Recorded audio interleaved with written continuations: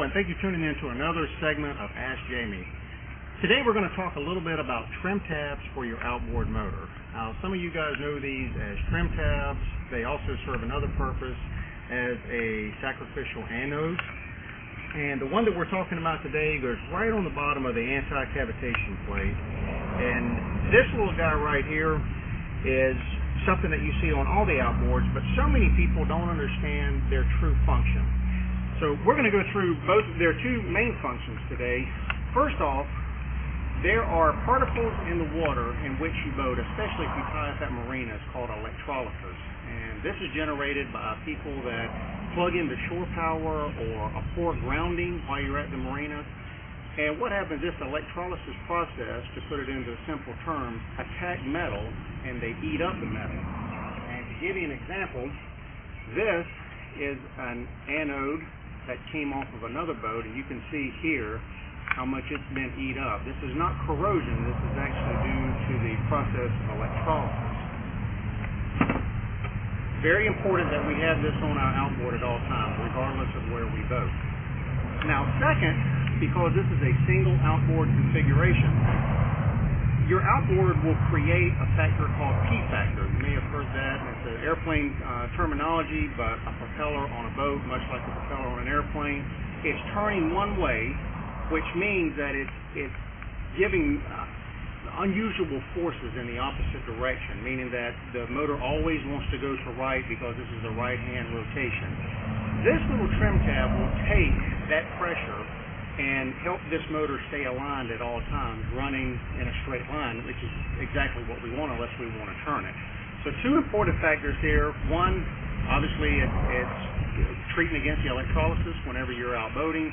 Second, it's help keeping your outboard running straight. Now, how do we adjust this for a proper running outboard? Oftentimes, when you get on your boat, especially a new boat, or if you've repowered your boat, You'll notice once you get up to full throttle, your motor's just not running quite straight. You'll notice a lot of pressure on the steering wheel, or maybe when you take your hands off the steering wheel, it will want to drift, or in some cases, actually grab and dig and want to go to the right really quick. Each of these trim tabs are mounted on the back, on the underside of the anti-cavitation plate here, and can be gotten to by going into the top cap uh, at the, the top of the, the midsection here. Almost every outboard manufacturer will have a nice little, I'll put this guy back here, I took it off a little too quick, a nice little plastic cap or rubber cap just to keep that hole concealed. Um, I am using just a regular 3 8 ratchet. This is just a single bolt, and this guy right here happens to be a 12 millimeter. To adjust or to take this off, you're simply going to fish this wrench right down inside the lower unit. Around it. And we're simply going to loosen it up. You may see it's actually turning now. Now, if we're just adjusting the trim tab to get our outboard running straight, you just want to loosen it just enough uh, so you can actually come and adjust, adjust the trim tab uh, so the trim tab doesn't come all the way off. Now, real important, which direction do we point the trim tab uh, is dependent on which direction you are having the trouble. So let's just assume that your motor pulls hard to the right. You're simply going to move the trim tab to the right. You will adjust the trim tab in the direction that you're having the issue. In this case, it's pulling to the right so we'll move this over. Now on the bottom, and this is going to be a little hard to see, there's actually some hatch marks from the manufacturer, kind of like a sundial. And this is zero degree. This is one click over, two clicks, three clicks, and so on. When you're adjusting your trim tab, make sure you're only doing it in one click increments. Uh, it doesn't take a whole lot to correct the problem that you're experiencing. So real important. Uh, also, if you're having trouble with uh, with it pulling to the left, say this was a counter rotation engine or it was a twin engine configuration, same thing. You'll just want to bring this trim tab to the affected to the affected area. Now, since we are going to talk about actually replacing uh, our trim tab, what, let's go ahead and we will take this guy completely off. Trim tab, even for you guys that leave your boats on the trailers, you're still going to have to do this once every couple of years. If they're in the water, electrolysis just has a funny way of being wherever you are.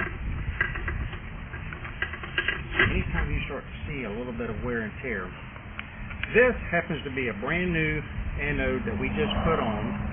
Uh, they have part numbers on the inside here. Another good thing to put into your logbook or your GPS book so you know exactly what model you have. And when do you know it's time to change? This happens to be the anode that we took off. You can tell that it's really starting to get beat up and it's starting to get nice and white and, and crusty, which means that it's losing all of its uh, properties to catch those electrolysis and let them feed on this sacrificial metal versus eating up your, your pretty outboard.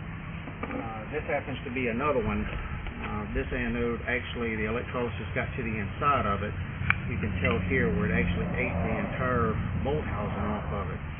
When they start to show signs of wearing and tearing, or if it's been longer than about two years, spend the 12 bucks and buy yourself a new one. So you saw exactly what we did. We took the 12 millimeter socket, we simply unscrewed the bolt from the bottom of our anode. When you have the new anode ready to go on, you simply line the new anode up with the bolt, bolt that's already inside of the motor housing. And we're going to set this one back exactly where it came from, which is one click off of dead center to the right. Again, just a 3H drive. Everybody should have one of these in your in your toolbox on your boat. I'm going to give this thing a nice snug, not overly tight, but nice snug uh, turn to make sure that it's on there and it's on there right. Afterwards, you just want to take, just pull on it or push. Make sure it's seated in there well and everything is, is jam up and right where it should be. If it's not, or you've cross-threaded, since the metal is so uh, it, it's pliable. It, it's almost like a sinker, or it's made out of lead, so it's almost like a fishing sinker.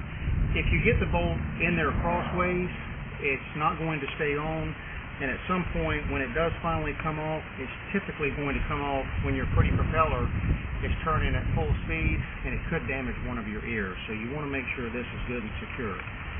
Lastly, we're going to take the same little cap that we took off and pop this guy right back in. So now that hole is concealed.